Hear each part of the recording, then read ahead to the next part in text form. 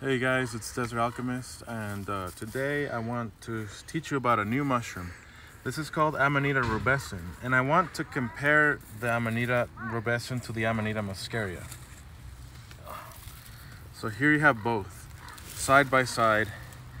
Both Amanitas um, have, you know, the white mycelium on the cap, kind of looks like warts. Um, the rubescent loses loses its veil um, very easily, but they both have the bulbous base, like I explained in other videos. Now the difference between these two mushrooms is that uh, this one is very, very brittle and it will break super easily. The stem is always like, feels like it's hollow.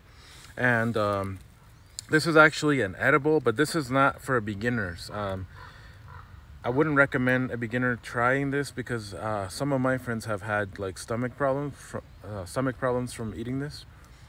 So I would recommend um, a lot of caution when you eat this. It could upset your stomach, could not. Definitely you don't want to eat this one. but the difference between both of them uh, is obviously the color on the cap. Uh, this one has a skirt always attached unless somebody rips it off. But they both have white gills. Actually, this one hasn't even opened. This one still has a veil attached, so maybe that's why there's no veil. But we have an older one over here. And I'm gonna try and pull this out. These guys break easily. So, yeah. So they both have veils, but this broke so fast. As I told you, they break super easily, yes. But they both have um, veils, except for the Amanita rubescens is a Amanita that's always pink colored. It always has like a pink color and when you slice it, it stains a little bit red.